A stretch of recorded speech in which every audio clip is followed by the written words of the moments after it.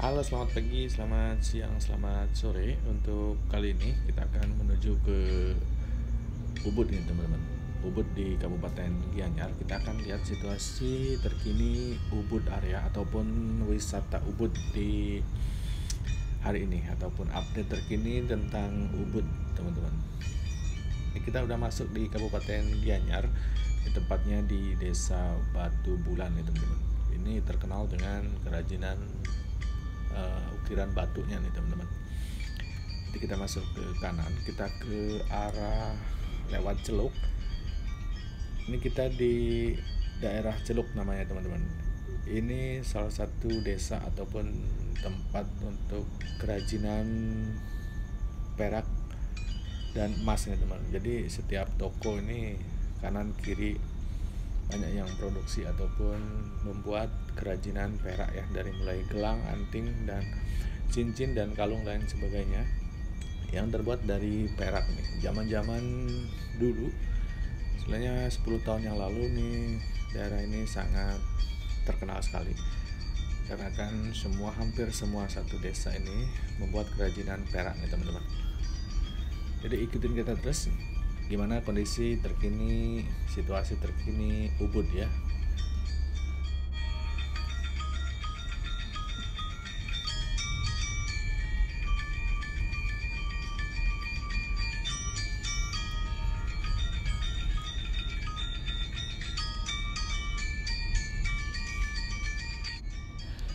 Uh, baik teman-teman, kita sudah di daerah Lotundu, di mana daerah ini terkenal dengan kerajinan lukisannya nih teman-teman. Jadi sama seperti Celuk di uh, kanan kiri ini, mereka memproduksi ataupun membuat kerajinan lukisan ataupun painting ya teman-teman. Jadi kita sebentar lagi masuk di Ubud. Ini di Ubud kita sudah di Jalan Pengosekan Ubud teman-teman. Ini uh, tempat wisata ataupun wis tempat destinasi wisata yang ada di Ubud ini ya biasanya cukup ramai sekali di musim-musim normal sebelum pandemi. Ini situasinya seperti ini, Ubud di hari ini sangat lengang sekali, lalu lintas melancar sekali, tidak ada hambatan yang biasanya macet di jam-jam sore ini teman-teman. Jadi kita di daerah Monkey Forest ini teman-teman kita melewati Monkey Forest ini sebelah kiri ini Monkey Forest ataupun hutan dengan seribu monyetnya. Ini banyak sekali biasanya monyet-monyet yang di pinggir jalan nih teman-teman.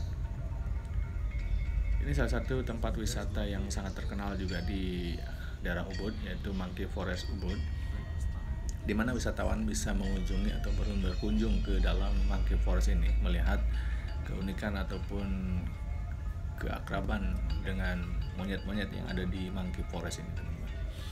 Jadi situasinya seperti ini di jalan Monkey Forest menuju pasar Ubud nih teman-teman. Ini kita bisa lihat tampak sepi sekali di mana toko-toko dan aktivitas belum seperti biasa nih teman-teman. Di sepanjang jalan Monkey Forest seperti ini situasinya jalan Monkey Forest seperti ini teman-teman. Situasi terkini di Ubud kita bisa lihat sangat sedih sekali lihatnya di mana biasanya ramai sekali nih. Semoga pandemi ini cepat berlalu ya teman-teman. Biar kita bisa kembali beraktivitas seperti biasa dan banyak juga turis-turis asing berkunjung ke Indonesia ataupun khususnya di Ubud juga ini. Kita masih menuju ke dekat pasar Ubud nih teman-teman. Nanti di depan ini pasar Ubud dan di depannya pasar Ubud itu adalah istana Ubud ataupun Ubud Palace yang di mana pengunjung juga bisa masuk ke daerah Ubud Palace ini teman-teman ya. Ini kita ke ambil ke kiri ke arah Sangingan kita lihat situasinya masih seperti ini masih sepi.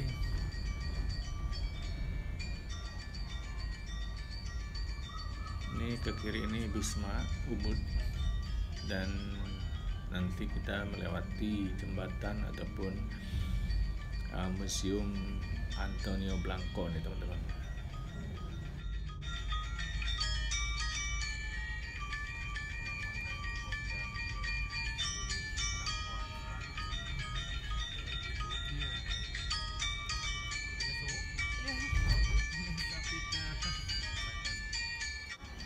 Uh, baik teman-teman, ini di Jalan Raya Sangingan seperti ini teman-teman. Kondisi terkini di Ubud di Jalan Sangingan seperti ini. Nanti kita akan putar balik menuju ke arah Ubud, uh, Pasar Ubud ya teman-teman. Kita menuju ke Pasar Ubud masih seperti ini.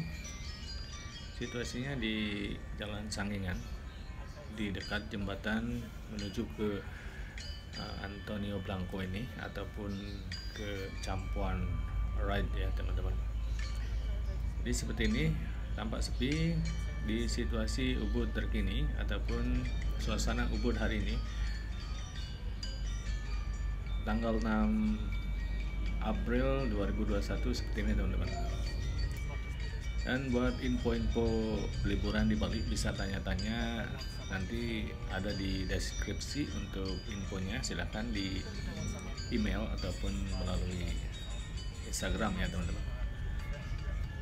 Ini kita di depan wantilan pasar Ubud nih teman-teman. Seperti ini biasanya ini macet sekali di sebelah kiri ini wantilan ataupun macam gazebo ataupun tempat istirahat dan ini di sebelah kiri ini Istana Ubud ataupun Ubud Palace dan di sebelah kanan ini Ubud Market ataupun Ubud Pasar Ubud teman-teman. Biasanya ini salah satu tempat destinasi wisata belanja ataupun uh, wisata turis buat liburan yang berkunjung ke Ubud ini pasti mereka meluangkan waktu untuk belanja di sini di Ubud karena pasar seni Ubud ini sangat lengkap dan sangat bermacam-macam yang ada di pasar Ubud ini teman-teman. Ini di depan ini patung Arjuna salah satu ikon yang ada di perempatan simpang Ubud ya nih teman-teman. Kita ambil ke kanan, kita menuju balik. Dan terima kasih teman-teman yang telah mengikuti perjalanan kita hari ini di Ubud melihat situasi terkini Ubud wisata Ubud di hari ini. Terima kasih, sampai jumpa di video berikutnya.